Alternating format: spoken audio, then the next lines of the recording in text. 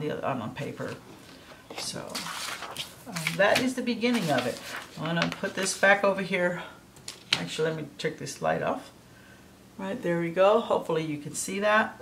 Um, and that is the eight head figure.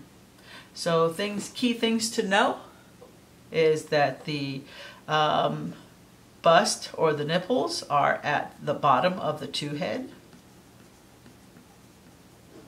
The waist or the belly button is at the bottom of the three head. The crotch is at the bottom of the four head. The knees are at the bottom of the six head. The, um, uh, well, the ankles are like about um, three quarters of the way. Now it's going to be different if you have somebody in heels. Their foot will be much more extended, but we'll get into that later.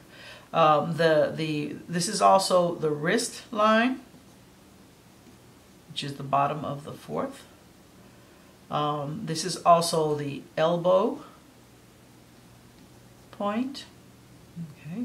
Uh, and let's see, the hand is uh, more or less in this uh, four to five head. You, you know, if you've got longer hands or arms, they may be down to the five, um, but that type of thing.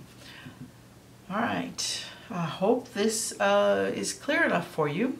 If you have questions, uh, let me know. And um, let's get started.